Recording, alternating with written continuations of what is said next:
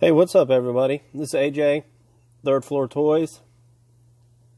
Today we're going to take a look at the Marvel Legends series Maestro. All right, so let's just take a quick look at him through the front window of the package. Um, as you can see there, he is really just massive and awesome looking. Um, he does come with one extra set of hands. Here's a look at the image on the back of the package. Um, looks totally awesome. Um, yeah, not a whole lot you can say other than just awesome. Um, it's the same image on both sides of the package. Um, we'll bring a little closer if you need to pause it to read his bio.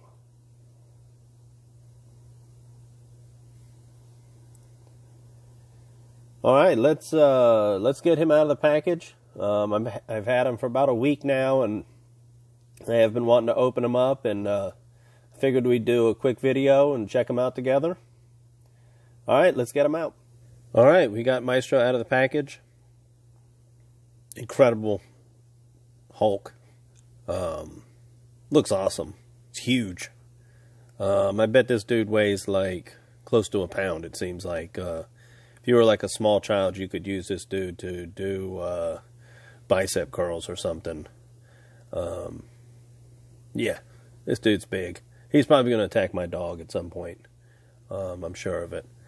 Um, he doesn't come with any other accessories or anything. Um, he does come with two fists that you can swap out um, when you have him uh, knocking out, you know, pets and uh, small children.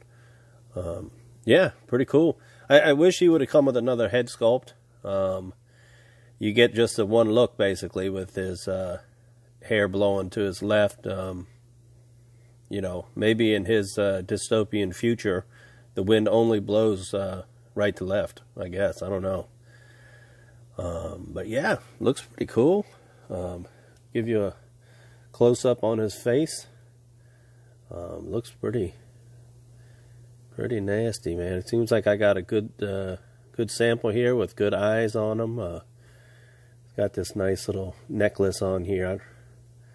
Um, it's got some gauntlets. Um, I was watching another review. Those are removable.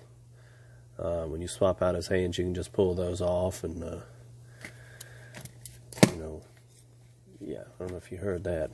You look at him from the back, he's got these uh, big time butterfly joints, so he can get his arms back real far when uh, when posing out so that's pretty cool that is pretty cool um, as far as I know this is the same Hulk as the 80th anniversary that came with Wolverine so probably no need to do a full review of this figure I just wanted to show him and uh, do a couple poses and check them out um, I appreciate your time.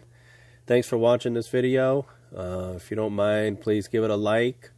Uh, leave me a comment. Let me know what you think, if you got this figure or not. Um, and if you haven't already, please